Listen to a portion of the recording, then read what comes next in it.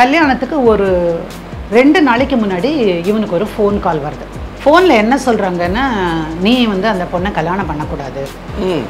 கல்யாணம் முடிஞ்சு இங்கே அவங்களுக்கே உரித்தான அந்த சம்பவங்கள் நடப்பதற்காக எல்லாம் செட் பண்ணுறாங்க அப்போது அந்த பொண்ணு இல்லை என்னால் இப்போ முடியாது.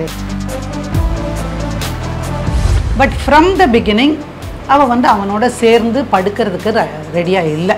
தாம்பத்திய வாழ்க்கைக்குள்ள தாம்பத்திய வாழ்க்கைன்னா முதல்ல பக்கத்தில் போகவே அதுவே இல்லை. அதுவே கிடையாது. உங்ககிட்ட ஃபோன் இருக்கிறது எனக்கு தெரியாது அப்படிங்கிறார். இல்லை அது வந்து நான் பர்சனல் காலுக்காக நான் வச்சுருக்கேன். அப்புறம் போய் தனியாக உட்காந்துட்டு பேசுகிறான் அந்த ஃபோனில் வச்சு பேசுகிறான் அவனுக்கு லேசான சந்தேகம் வர ஆரம்பிச்சிருது. அந்த பக்கை எடுத்து பார்க்குற பொழுது இந்த பொண்ணு ஒரு ஆணோட பேசுறது. அவங்களுடைய மொழியே காதல் மொழியாக இருக்கிறது. காமத்தின் தவிப்பாக இருக்கிறது. நக்கீர நேயர்களுக்கு வணக்கம். நான் விஜய் அறிகிற சுதன் வழக்கு எண்ணில் ஒவ்வொரு வாரமும் திருமதி சாந்தகுமாரி மேம் வந்து அவங்க நடத்தின பல வழக்குகள் பற்றி பேசிகிட்டு இருக்காங்க. இன்றைக்கும் அதே மாதிரி ஒரு வழக்கு பற்றி தான் நம்மள்ட்ட பேச போகிறாங்க மேடம் வணக்கம். வணக்கம். இன்னைக்கு எந்த வழக்கு மேடம் பார்க்க இன்னைக்கு பிரசன்னான ஒரு தம்பியோட வழக்கை பற்றி நம்ம பேச போகிறோம் பிரசன்னா வந்து யூஎஸில் வேலை செய்கிறாப்புல ரொம்ப பிரில்லியண்ட்டான பாய் ஒரு நல்ல குடும்பத்தை சார்ந்த அப்பா அம்மா கஷ்டப்பட்டு அவங்கள வளர்த்து கொண்டு வந்ததுனால வாழ்க்கையினுடைய அருமையெல்லாம் தெரிஞ்ச ஒரு பையன். வெரி ஸ்மார்ட் பாய் பையன் இப்போ சொல்ல முடியாது. இப்போ ஒரு முப்பத்தஞ்சு வயசாவது இருக்கும் அவருக்கு. அவர் தான் வந்து ஒரு நாள் என்னை பார்க்க வந்தார். இந்த மாதிரி நான் கல்யாணம் பண்ணினேன். எப்போ கல்யாணம் பண்ணீங்க? மேடம் எனக்கு கல்யாணம் ஆகி த்ரீ இயர்ஸ் ஆச்சு. என்ன பிரச்சனை? அப்படின்னு கேட்கும்போது தான் அவர் கதையை சொல்கிறார் அப்பா அம்மா பார்த்து கல்யாணம் பண்ணுறாங்க பையனும் பொண்ணும் அவர் அங்கே இருந்தாலும் கூட ஃபோனில் பேசுகிறார் ஓகே ஃபோனில் பேசுகிறாரு வீடியோ காலில் வரார். இப்போ வீடியோ கால் ஸ்கைப் எல்லாம் வர மாதிரி அது அதே தான் பேசுகிறாரு ஆனால் இவர் என்னம்மா என்ன பண்ணுறீங்க ஏது? அப்படின்லாம் கேட்பாங்கல்ல பொண்ணுக்கிட்ட முதல் முதல்ல வாங்க போங்கன்னு தானே நீங்கள் எல்லாம் பேசுவீங்க. அப்புறம் தான் வாடிப்பொடியில் வந்து நிற்கும்ல ஆமாம் மேடம் அதான் ஆமாம் மேடமா நல்ல கதையா நான் வந்து பொதுவான மொழியில் சொன்னேன். ஆ, இருக்கும் இருக்கும். சொல்லுவீங்க சொல்லுவீங்க. இவங்க பேசுகிறாரு இவர் பேசினாலும் அந்த பொண்ணு ரொம்ப அதிகமாகவே பேசுறதில்ல.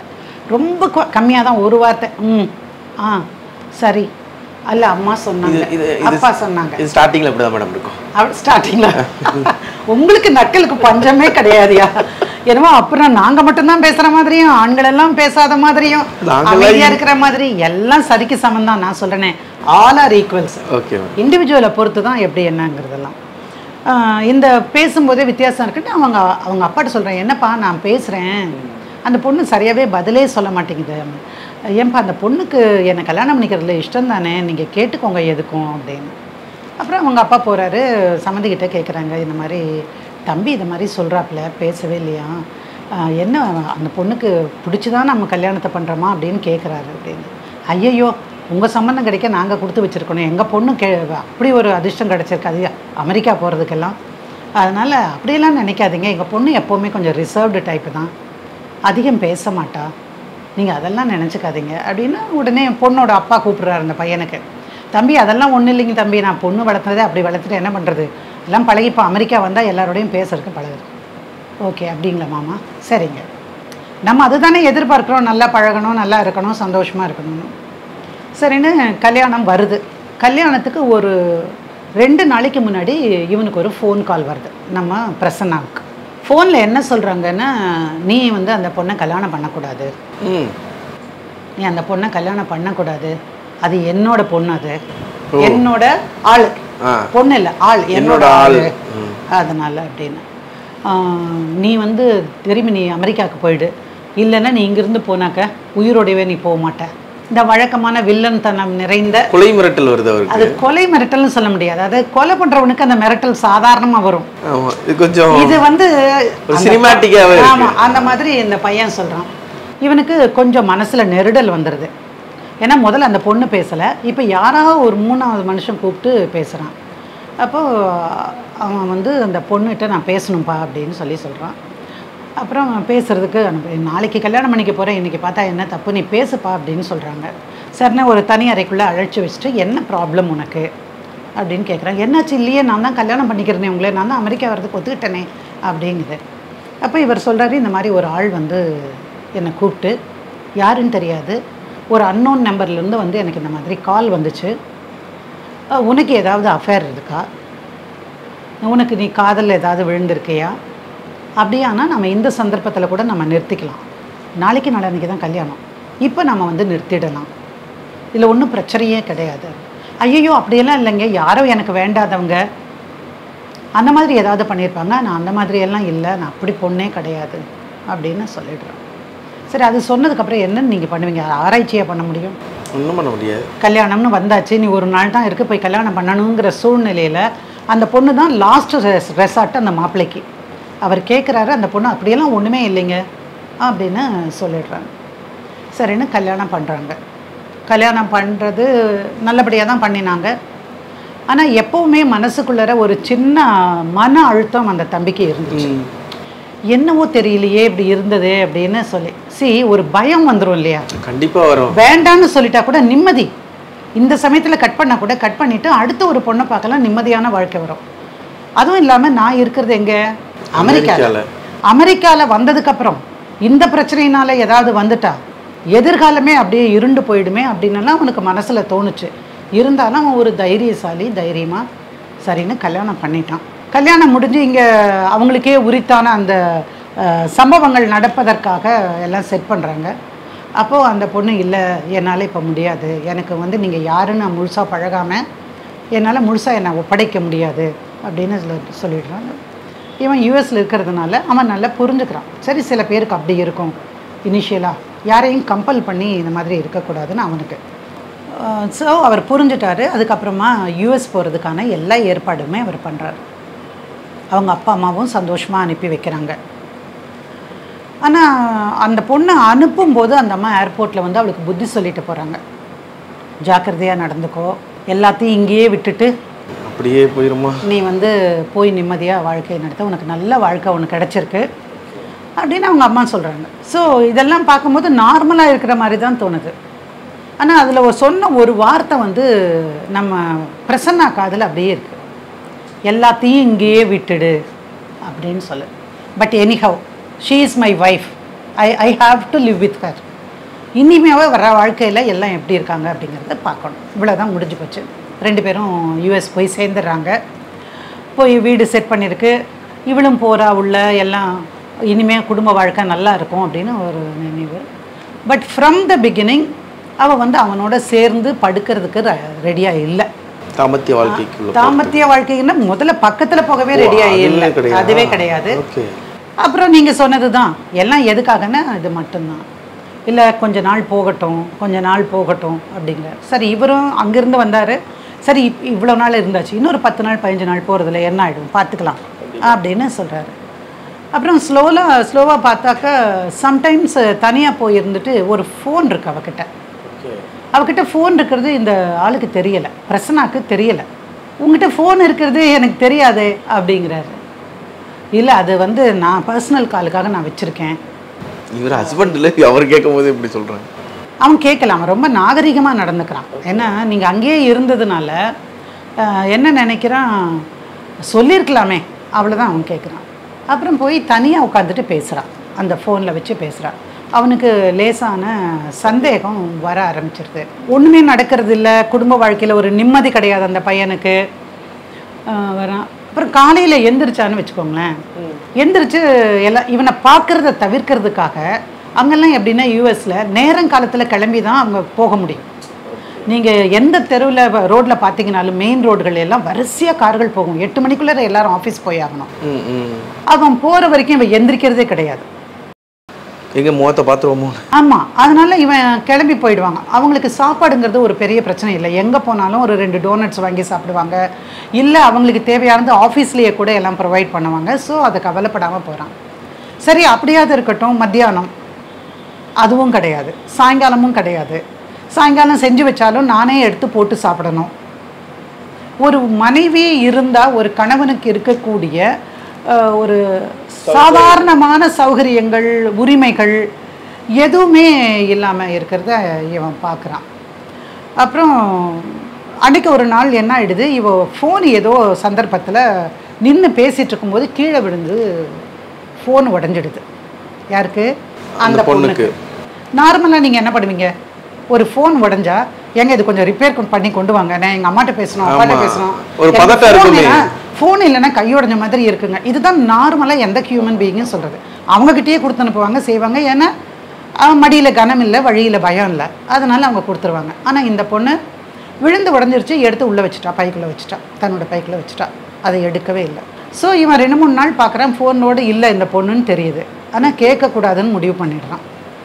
சரி இப்போ இது ஒரு சந்தர்ப்பம் நமக்கு. என்ன நடக்குதுன்னு தெரிஞ்சுக்கிறதுக்கு நமக்கு ஒரு சந்தர்ப்பம். ஏம்மா உங்கள் அப்பா அம்மாட்ட பேசலையா? அப்படின்னு இவன் கேட்குறான் இல்லைங்க நான் பேசணும். நீங்கள் போங்க. நான் அப்புறமா பேசிக்கிறேன். இப்போது எனக்கு அந்த மூடு இல்லை அப்பா அம்மாட்ட பேசுகிற கூட நான் கொஞ்சம் நேரம் கழித்து பேசிக்கிறேன். அப்படியா? அப்படின்னு சொல்லிட்டு அந்த ஊர்ல எல்லாம் வந்து பக்ஸ் கிடைக்கிறது ரொம்ப ஈஸி உங்களுக்கு அந்த டெலிஃபோனுக்கு கீழேயோ அந்த ஸ்டாண்டுக்கு கீழேயோ அப்படி பதிச்சு வச்சுட்டா நீங்கள் என்ன பேசுகிறீங்களோ அது தெரியும். சரியா? இப்போ இது எதுவுமே எனக்கு தெரியாது. நீ ஃபோன் வச்சிருக்க என்கிட்ட காட்டுறதில்ல. நீ யார்கிட்டயோ பேசுற அது எனக்கு தெரியறதில்ல. ஃபோன் உடஞ்சு போச்சோ ஏதோ ஒன்று நடந்திருக்குது இதில். ஆனால் அந்த ஃபோன் எங்கேன்னு தெரியலை. நீ தவிக்கிறது மட்டும் எனக்கு தெரியுது. அதனால சரி இதுதான் சரியான சந்தர்ப்பம். ஏதாவது இருக்கான்னு தெரிஞ்சுட்டா எனக்கும் மனசு நிம்மதியாகும். இல்லையா? நான் வந்து உன்னை எதுக்காக கல்யாணம் பண்ணிட்டு வரேன்? எனக்கு ஒரு குடும்ப உறவு. தாம்பத்தியம் மட்டும் இல்லை. ஒரு பொண்டாட்டியா நீ எனக்கு செய்ய வேண்டியது புருஷனா நான் உனக்கு செய்ய வேண்டியது எவ்வளவோ இருக்கு. நீ சந்தோஷமா இருக்கட்டும்னு ஊருக்கு வந்த உடனே நிறைய இடங்களுக்கு கூட்டிட்டு போறேன். நீ பார்த்தே இருக்க மாட்டேன் அமெரிக்காவில் அந்த மாதிரி இடங்களுக்கு கூட்டிட்டு போறேன். எல்லாம் கூட்டிட்டு போகும்போது என்ன? சந்தோஷம் வரும். ஒரு நெருக்கத்துக்கு வருவா. ஏதாவது இருந்தா கூட அதையெல்லாம் மறந்து அவங்க அம்மா சொன்னாங்க பாருங்க. எல்லாத்தையும் இங்கேயே விட்டுட்டு விட்டுட்டு வந்துடுறேன் அதாவது நடக்குமோ அப்படின்னு நான் நினச்சதான் எல்லாமே செஞ்சேன். பட் எதுவுமே இல்லாமல் இருக்கு. இந்த சந்நியாச வாழ்க்கைக்கு நான் எதுக்கு இப்படி வாழணும் அப்படின்னு நினச்சதுனால என்ன பண்ணுறான் டெலிஃபோனில் இரு இவங்க பேசினா தெரிஞ்சுக்கிறதுக்காக வைக்கிறான். ஓகே ஸோ முதல் நாள் பார்த்தா அப்பா அம்மாவோட பேசியிருக்கா.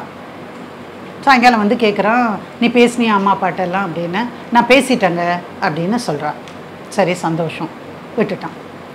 அப்புறம் ஒரு ரெண்டு மூணு நாள் கழித்து கழித்து பார்க்கும்பொழுது இவனுக்கு அந்த அந்த அந்த ஒரு என்ன கொடுப்பாங்க?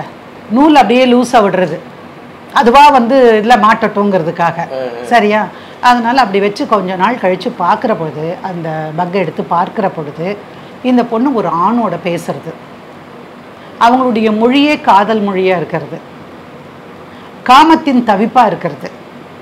இதெல்லாம் அவன் கேட்குறான் கேட்டு கேட்டதுக்கு அப்புறமா கூட அவகிட்ட அந்த விஷயம் எதுவுமே சொல்கிறது கிடையாது அவன். சொல்லாம சரி என்ன எவ்வளவு நாளாச்சு நீ வந்து? அம்மா அப்பா பார்க்கணும்னு தோணலையா? அப்படின்னா ஐயோயோ நானே சொல்லலாம்னு நினச்சேங்க. நீங்களே வந்துட்டீங்க. நீங்களே வந்துட்டீங்க அப்படின்னு சொல்றாங்க. எனக்கு இப்போ ஆஃபீஸ் ரொம்ப கெடுபிடியா இருக்குமா? இப்போ உடனே வர முடியாது. நான் வேணா உன்னை அனுப்பி வைக்கட்டுமா? இல்லை உங்க அப்பா வர சொல்றியா? கூட்டிட்டு போறதுக்கு அவருக்கும் நான் டிக்கெட்டுக்கு பே பண்ணிடுறேன் அப்படின்னு சொல்றாரு. அப்போ இல்லைங்க அப்பாலாம் வேணாங்க. நானே போயிடுவேங்க. டிக்கெட் மட்டும் வாங்கி போட்டு கொடுங்க.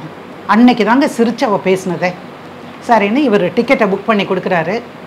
அவ கிளம்பி போறா. போய் அதுக்கு அடுத்த நாள் சேர்றது முன்னாடி அவ எந்த தேதியில போய் அங்க சேரணுமோ அந்த தேதியில அவங்க இல்ல ம். அடுத்த நாள் தான் அவங்க அம்மா வீட்டுக்கு போயிருக்கா. ஓகே. சரியா? இப்போ அவர் ஃபோன் பண்ணுவார்ல கேஷுவலா ஃபோன் பண்ணா என்ன பொண்ணு வந்துட்டாளா அப்படின்னு கேட்கும்போது இப்பதான் மாப்பிள்ளை வந்து இறங்கினா. அப்படின்னு சொன்னாங்கன்னா என்னுடைய ஃப்ளைட் டைம் படி அவள் வந்து எங்கே வந்திருக்கணும்? நேற்று காலையிலேயே வந்திருக்கணும். நாலரை மணிக்கு ஃப்ளைட்டு வந்து காலையில் நாலரை மணிக்கு வந்துடும் இறங்கி வெளியே வர்றதுக்கு ஆறு மணி. ஆறு மணின்னா வீட்டுக்கு போகலாம். அப்போ இல்லை. ஸோ இது ரெண்டாவது confirmation I have sent her to India ஒரு நாள் கழிச்சு தான் அவ அந்த வீட்டுக்கே ரீச் பண்ணியிருக்கா யாருக்கும் எங்கே இருந்தான்னு தெரியாது. ஸோ இதுதான் சரி. இதுக்கு மேலேயும் நம்ம வந்து காத்திருக்கிறதுல எந்த பிரயோஜனம் இல்லை அப்படின்ட்டு வராங்க. வந்து என்னை வந்து பார்த்தாங்க. மேடம் இந்த மாதிரி எல்லாம் நடந்திருக்கு. ஆனால் நான் பக்கு வச்சதெல்லாம் அவளுக்கு தெரியாது. ஏன்னா அங்கத்த சட்டப்படி வந்து ஒருத்தருடைய ப்ரைவசிக்குள்ளே தலையிடுறதா ஆகும். அர்த்தமா? அதனால் இதை வந்து நாங்கள் எடுத்து டிஸ்க்ளோஸ் பண்ண முடியாது. இங்கே வந்து ஏதாவது பண்ண முடியுமானா அதை வச்சு நம்ம பண்ணலாம் மேடம் இந்த மாதிரி நடந்திருக்கு அப்படின்னு அவர் சொல்கிறாரு அவளோட ஃபோன் கிட்ட உங்ககிட்ட. உடஞ்ச ஃபோனாக கூட பரவாயில்ல அது இருக்கா அப்படின்னு. இல்லை அதுவும் இல்லைன்ட்டு அப்படின்னாப்புல. சரி இந்த ரெண்டு விஷயம் உங்களுக்கு தான் தெரியும். பக்கு வச்சதில் இருக்கக்கூடிய விஷயங்களை நீங்கள் ஒன்றுக்கு ட்ரான்ஸ்ஃபர் பண்ணிட்டீங்கன்னா உங்கள் ஃபோனுக்கோ அல்லது ஏதாவது ஒரு வகையில் அது வந்ததுன்னா அது ரெக்கார்டிங் மட்டும் வைங்க நம்ம பார்க்கலாம் அப்படின்னு. Then he sends a notice நாங்கள் என்ன பண்ணினோம்? இந்த மாதிரி ஒத்து வரல.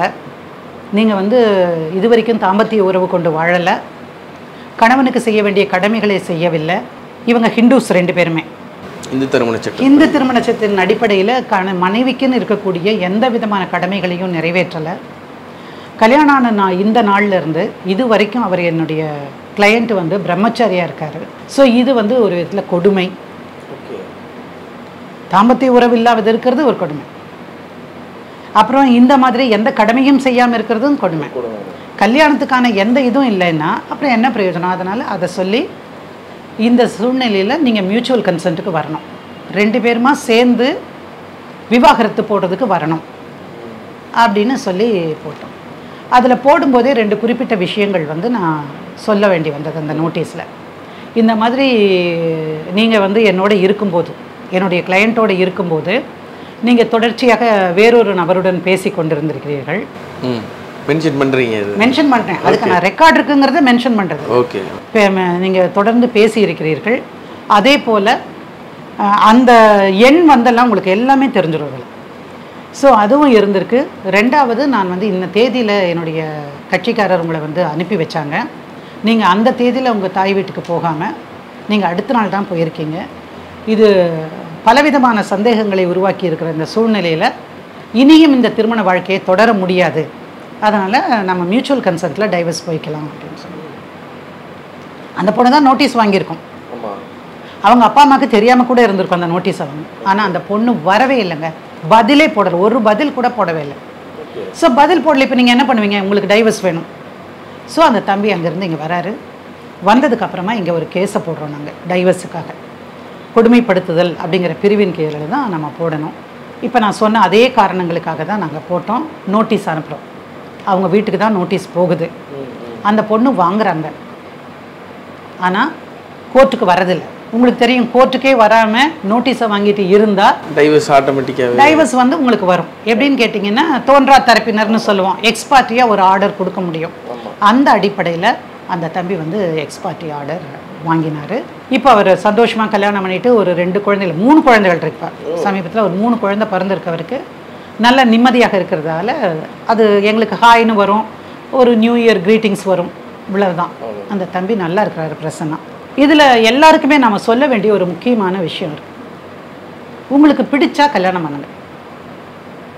இது நான் வந்து நம்மளுடைய ஆனந்த் கேஸ்ல கூட சொன்னேன். பிடிக்கலைன்னா விட்டுருங்க. அது தோற்றம். அது உனக்கு பிடிக்கல. அதனால நீ வேண்டான்ட்ட. ஆனா பிடிக்கலைங்கிறத காட்டிலும் உனக்கு வேற ஒருத்தரை பிடிச்சிருக்கிற போது நீ இன்னொரு ஆண் கிட்ட போய் கல்யாணம் பண்ணணும்னு நினைக்காத. கரெக்ட் அது தேவையில்லை. ஒன்று உன்னுடைய பெற்றோரோட போராடி நீ காதலித்த அல்லது நீ விரும்பின அந்த நபரையே கல்யாணம் பண்ணிக்கணும். இந்த விஷயத்துல முக்கியமா சொல்லணும்னா அவங்களோட பெற்றோரும் ஒரு விதத்துல காரணமா தான் இருந்திருக்காங்க. அவங்க அம்மா சொன்ன அந்த வார்த்தை கூட அப்படிதானே நமக்கு எந்த பெற்றோருமேங்க? நீங்கள் ஜாதி விட்டு ஜாதி போனா மதம் விட்டு மதம் போனா இல்லை பொருளாதார ரீதியால மோசமான நிலையில் இருக்கிற ஒரு பையனை கல்யாணம் பண்ணினா ஆதரிக்க மாட்டாங்க. யாருமே ஆதரிக்க மாட்டாங்க. அவங்களுடைய நோக்கம் என்னவா இருக்குன்னு சாதி கட்டுமானங்களுக்குள்ளற மத அடிப்படையில் அப்புறம் இப்படிதான். எல்லாத்தையுமே கட்டாயமா பார்க்கறாங்க அவங்க மேல என்னால தப்பு சொல்ல முடியல அவங்கள மாத்த முடியாது. ஆனா நம்மளை மாத்திக்க முடியும் தானே? கண்டிப்பா. அடுத்த தலைமுறையை சார்ந்தவங்க. எதையும் துணிச்சலா சொல்றதுக்கும் அது கிடைக்கிற வரைக்கும் போராடுறதுக்கும் போராடலைன்னா இன்னொருத்தனுடைய வாழ்க்கையை போராட்டமாக ஆக்காம இருக்கிறதுக்கும் இது சாத்தியம் தானே? நம்ம கையில் இருக்கக்கூடிய விஷயம். அதனால வெளிப்படையா பேசிட்டு அட்லீஸ்ட் அந்த பையன் வந்து கேட்டான் உங்ககிட்ட. ஆமாங்க I was in love with I am in love with somebody எங்கள் அப்பா அம்மா கம்பல் பண்ணதுனால தான் கல்யாணம் பண்ணுறேன்னு சொல்லணும். அதுவும் சொல்லல. அதுவும் தான் அமெரிக்கா வரேன்னு சொல்லிட்டாங்க. ஏன் சொன்னாங்க? அந்த இடத்துல கல்யாணத்தை நிறுத்தினா அப்பா அம்மாவுக்கு அவமானம் வந்துடும் ஊர் கூடி எல்லாரும் எங்கள் அப்பா அம்மாவை காரி துப்பிட்டு போயிடுவாங்க. அதனால் அன்னைக்கு இதை சால்வ் பண்ணுறதுக்காக அந்த பொண்ணு ஒரு முடிவெடுத்தது. பொண்ணும் ஆணும். யாராக இருந்தாலும் வெளிப்படையாக யோசிச்சு பிளெயினாக சொல்லிடுங்க. எனக்கு உன்னை பிடிக்கல. ஆண் கூட சொல்லலாம். நான் வேற ஒரு பொண்ணோட வந்து உறவு வச்சிருக்கேன் அவங்க ஒப்பீனியனை கரெக்டா சொல்லிட்டா இதுல இல்லைன்னா போயிட்டு. போகுது. இந்த மாப்பிள்ளை இல்லைன்னா வேற ஒரு மாப்பிள்ளை. இந்த பொண்ணு இல்லைன்னா வேற ஒரு பொண்ணு. நிம்மதியான வாழ்க்கை.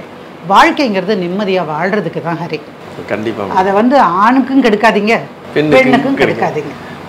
நீங்க வந்து கிளியரா இருக்கிறது எப்பவுமே நல்லது. இது நம்ம கட்டாயமா நம்ம நேயர்களுக்கு சொல்லி சொல்லி ஆகணும். இன்னொரு விஷயம் இப்போ வந்து ரொம்ப நிம்மதியா மூன்று குழந்தைகளோட ஆனந்த் சந்தோஷமா இருக்காரு. அவங்க எங்க இருக்காங்கன்னு நமக்கு தெரியாது. இதில் ஃபைனலாக உங்களோட கிளைண்ட்டுக்கு அவங்க வராமலே ஒரு நீதி கிடைச்சிருக்கு அப்படிங்கிறது ஒரு பெரிய விஷயமா தான் பார்க்கப்படுது. இது மாதிரி இன்னொரு வழக்கூட சந்திக்கிறேன். நன்றி.